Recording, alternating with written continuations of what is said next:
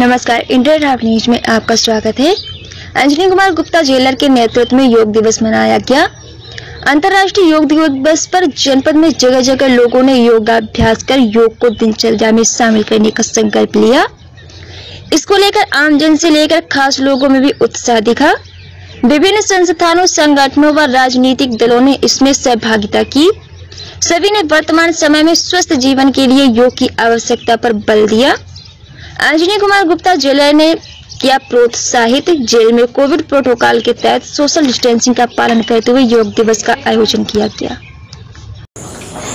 जब से योगा कर रहा हूँ, मैं जैसे कि कुश्ती करता था जिम ट्रेनर हूँ तो वेट लिफ्टिंग करने के कारण मेरे पैर के घुटनों में बहुत ज़्यादा दर्द होता था। कंधे के घुटनों में, कंधों में बहुत ज़्यादा दर्द होता था। मैं जब से योगा कर रहा हूँ, तब से मैं बिल्कुल एकदम ठीक से हो गया हूँ।